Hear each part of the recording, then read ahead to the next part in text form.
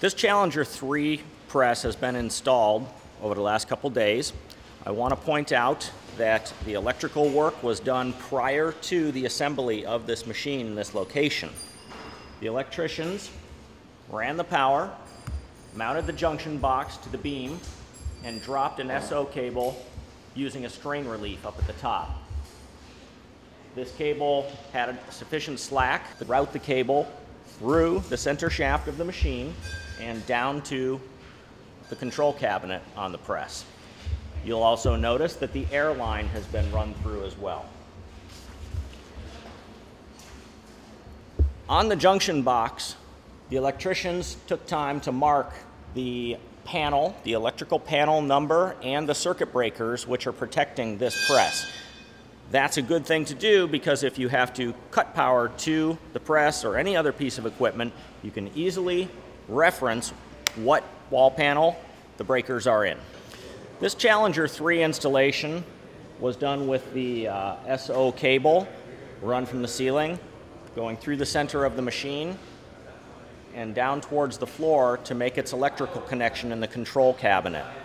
However, these presses can be ordered with electrical cable pre-installed through the center shaft and terminating at the top of the press they can also be ordered with the air line connected in a similar fashion.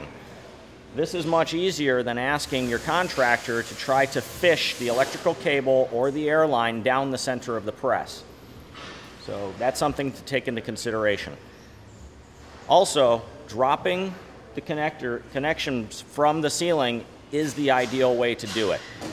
Running cables, power, or pneumatic air lines across the floor to the base of the machine is not a good idea. It creates a tripping hazard in the shop and it is seriously frowned upon by OSHA. As I stated earlier, the electrical work was done prior to the assembly and installation of the machine.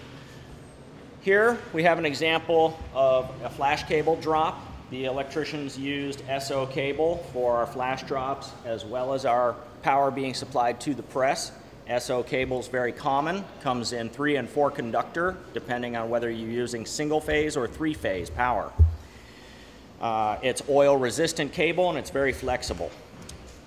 The electricians have used 50 amp twist lock plugs to connect this flash. The female drops from the ceiling. The male is connected to the piece of equipment. As you can see, there is a strain relief at the junction box in case anyone tugged on the cable, it would not pop out from its connection on the ceiling. These plugs are very expensive, but they're well worth the money. They're well constructed, heavy duty, and they can take years of plugging and unplugging. It's not a good idea to buy a cheap connector for your flashes. You also have to take into consideration the amount of amps that the flash unit is going to pull. That will determine the size of the plug and the size of the wire. Same holds true for any other piece of equipment. Printing press, dryer, cable size is key. It's very important to have the electrical and the pneumatic drops done prior to the assembly and installation of the machine. If a plumber or an electrician has to get a scissor lift or ladders into this area after the press has been assembled in order to make their connections, dropping from the ceiling, you run the risk of them possibly dropping tools on top of the machine and damaging it, and it creates a, a very difficult work environment for the contractor. Have this done before the equipment is placed on the floor.